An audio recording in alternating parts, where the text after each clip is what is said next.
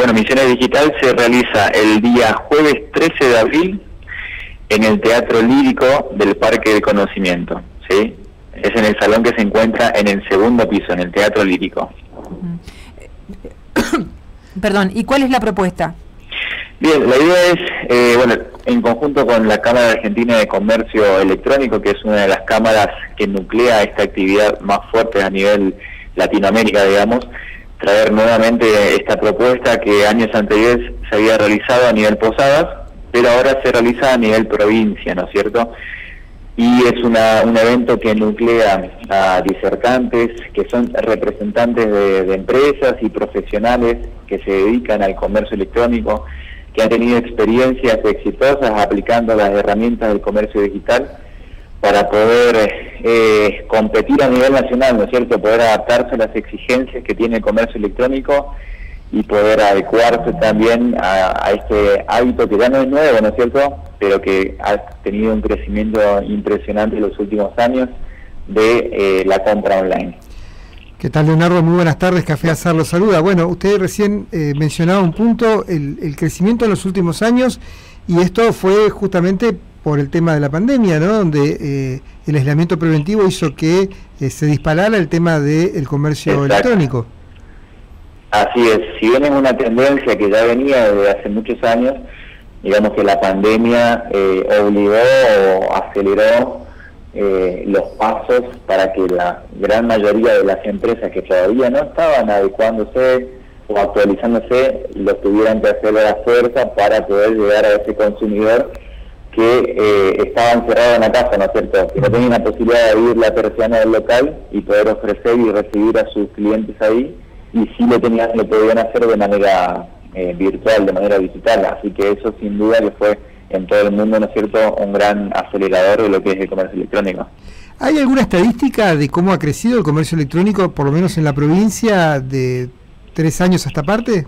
Mira, hay un informe muy bueno que de hecho es parte de este evento que la Cámara Argentina de Comercio Electrónico lleva toda la estadística a nivel país y va a ser presentada esa, esa estadística de que no es el crecimiento del comercio electrónico y no solo eso, sino también el hábito de compra que tiene el consumidor en el mundo, en el ámbito digital. ¿sí?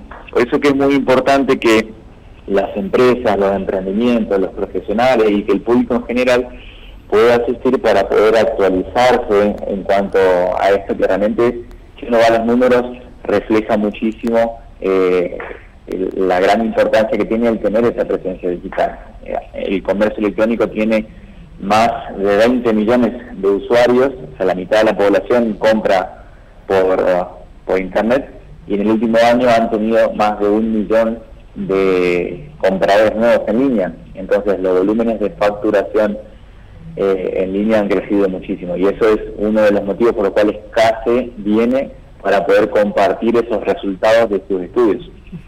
Eh, ¿con, qué, eh, ¿Con qué se va a encontrar quien asista? ¿Cuál es el programa? Bien, el programa arranca a las 9 de la mañana. Las acreditaciones son desde las 8. La idea es arrancar a las 9 con paneles muy cortos de 15 a 20 minutos donde los representantes, las empresas y los profesionales van a compartir eh, de manera académica, digamos. Acá no es simplemente contar la historia de la empresa, sino enseñar y educar a la audiencia sobre distintos temas de comercio electrónico, sobre la tendencia, sobre las herramientas como las barreras de pago, los medios de envío, la logística, eh, vamos a ver también casos de empresas misioneras que han sido exitosas en desarrollar sus canales de comercio electrónico, así que la verdad que es una propuesta muy atractiva como para poder aprender, actualizarse y también tener ese relacionamiento entre el entorno de las empresas que siempre suma muchísimo a la hora de generar un evento, ¿no es cierto? Que los profesionales, los consumidores, las ofertas, eh, la competencia también tengan ese espacio de vincularse entre sí y poder eh, interactuar, ¿no es cierto? ¿Cuál va a ser la, eh, conforme a, lo que fue la primera edición Posadas Digital, cuál va a ser la particularidad de este evento, Leonardo? La particularidad es que se hace extensiva para empezar la invitación a toda la provincia y además en aquel momento había sido organizada por la Cámara de Comercio de la, de la Ciudad de Posadas y en este momento esta ocasión es organizada por el Ministerio de Industria de la provincia, de ahí que se le da el carácter provincial, digamos. Eh, ¿quién Estamos es? claro que es un evento gratuito, ¿no es cierto? Eso le estaba por preguntar, eh, carácter gratuito, ¿quiénes deberían asistir?